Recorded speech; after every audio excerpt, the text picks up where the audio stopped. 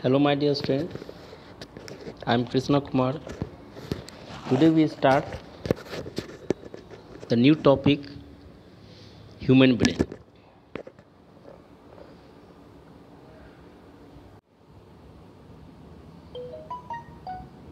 First, we start about the human nervous system. Human nervous system. The nervous system in humans can be divided into three main parts central nervous system, peripheral nervous system, and autonomous nervous system. In central nervous system, it is composed of the brain and a spinal cord. The brain controls all the functions in the human body the spinal cord works as the relay channel for signals between the brain and the peripheral nervous system. The peripheral nervous system is composed of the cranial nerves and spinal nerves. There are 12 pairs of cranial nerves. The cranial nerves come out of the brain and go to the organs in the head region. There are 31 pairs of the spinal nerves. The spinal nerves come out of the spinal cord and go to the organs which are below the head region. The autonomous nervous system is composed of a chain of nerve ganglion that is mass of nerve cells which runs along the spinal cord. It controls all the involuntary actions in the human body. The autonomous nervous system can be divided into two parts sympathetic nervous system and parasympathetic nervous system.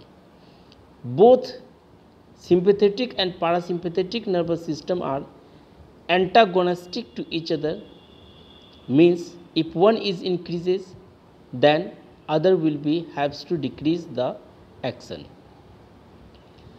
Sympathetic nervous system this part of the autonomous nervous system heightens the activity of an organ as per the need. For example, during running, there is an increased demand for oxygen by the body. This is fulfilled by an increased breathing rate and increased heart rate. The sympathetic nervous system work to increase the breathing rate and the heart rate.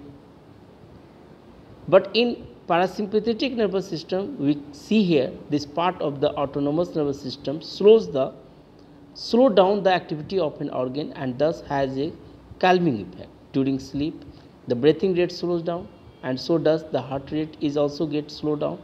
This is facilitated by the parasympathetic nervous system and so that both parasympathetic and sympathetic nervous system are antagonistic to each other. Human nerves, nervous system is first divided in three parts central nervous system peripheral nervous system and autonomic nervous system. Central nervous system is divided in two parts brain and spinal cord. Brain is divided in three parts forebrain, midbrain and hindbrain. So we first we see human brain. Human brain is a highly complex organ which is mainly composed of nervous tissue. The tissues are highly folded to accommodate a large surface area in less space. The brain is covered by a three-layered system of membrane called meninges. Cerebrous, cerebrous spinal fluid is filled between the meninges.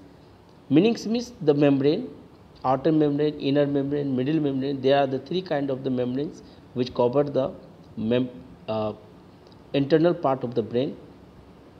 The CSF providers caution the brain against the mechanical shocks, Furthermore, protections, the human brain can be divided into three regions forebrain, midbrain, and hindbrain. As we see in this figure, the brain, human brain, is divided in forebrain, midbrain, and as well as in hindbrain.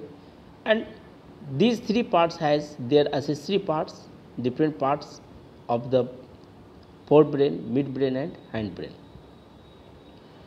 Now come to the parts of human brain. The forebrain it is composed of the cerebrum, the midbrain it is composed of the hypothalamus and the hindbrain it is composed of the cerebellum, pons, medulla and oblongata.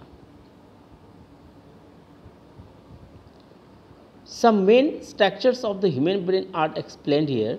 The cerebellum. The cerebellum is the largest part in the human brains. It is divided into two hemispheres called cerebral hemisphere. Some functions of cerebrum is here. The cerebrum controls voluntary motor actions of our body and it is the site of sensory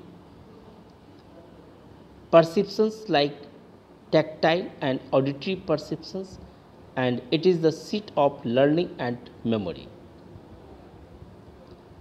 Hypothalamus. The hypothalamus lies at the base of the cerebrum. It controls sleep and wake cycle of the body. It also controls the urges for eating and drinking. Now cerebellum.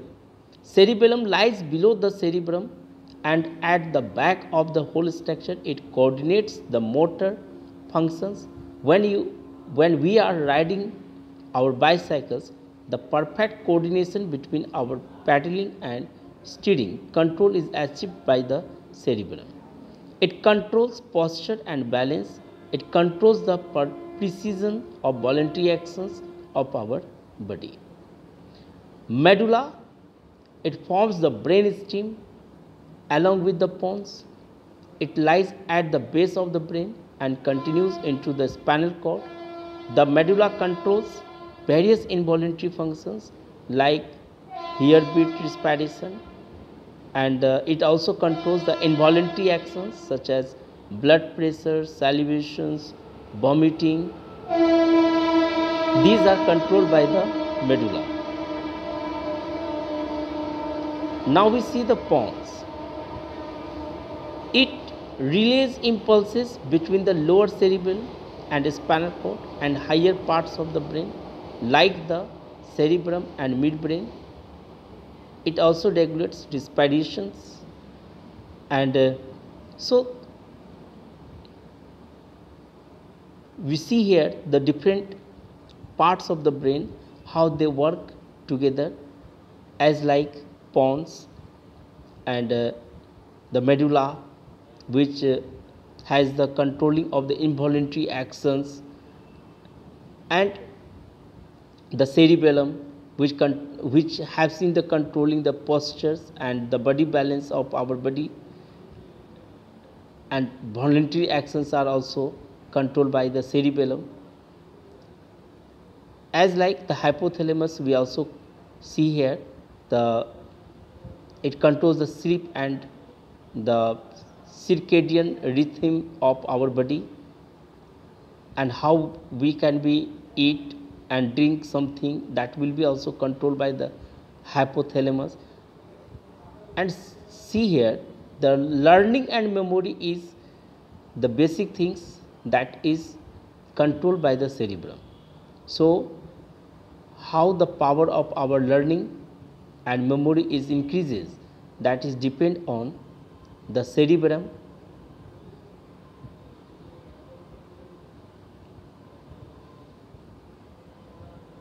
Thank you my dear friends for watching my video and again I come with the new video in the new class. Thank you. Have a nice day.